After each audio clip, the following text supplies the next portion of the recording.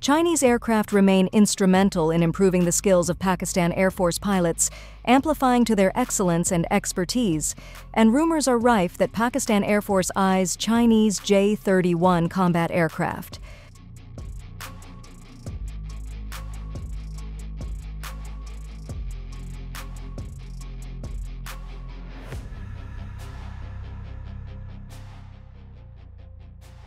Islamabad remains a notable buyer of fighter planes from Beijing and Sino-Pak JF 17. Thunder symbolizes the pinnacle of modern aerial warfare technology.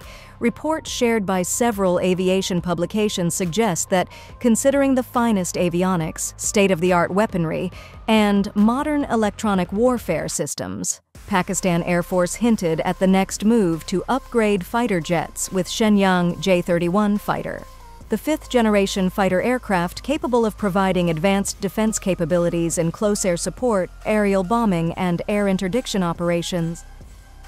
Pakistan Air Force Chief Air Chief Marshal Zaheer Ahmed Babar Sidhu said, the foundation to get the J 31 stealth fighter has been completed, and it will become part of PAF's fleet.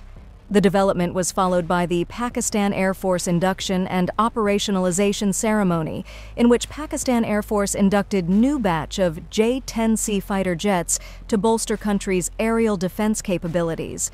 Besides the reports being shared online, the Director General Public Relations Pakistan Air Force or any other official has not shared any update about the addition of J-31 jets. J-31, also known as Shenyang J-31, was intended to strengthen stealth abilities, as its features make it less visible to radar systems with limited detection in contested environments.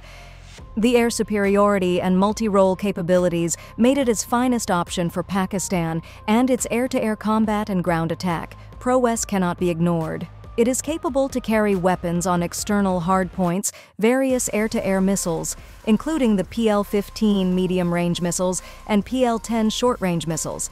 Islamabad is expected to ink contract with Iron Brother to get J-31 just around the time the first batches of J-31s begin rolling out for export.